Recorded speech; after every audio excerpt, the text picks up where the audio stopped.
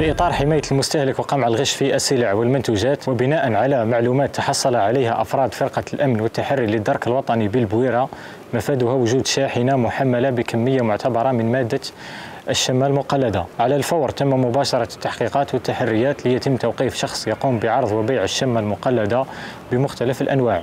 مرتكبا بذلك جنحة حيازة منتوج يعلم صاحبه بأنه صنع عن طريق الغش في تركيبه شمة مقلدة. جنحة التقليد مادة تبغ الترشق لعلامة وطنية ممارسة نشاط تجاري غير قار بدون التسجيل في السجل التجاري. على إثر ذلك تم وضع خطة أمنية محكمة مكنت من توقيف الشاحنة نوع سوناكوم.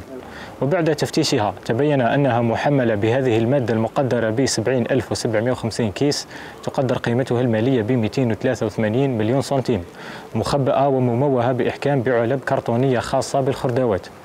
تم اقتياد المعني إلى مقر الفرقة من أجل مواصلة التحقيق وتقديمه أمام الجهات القضائية المختصة.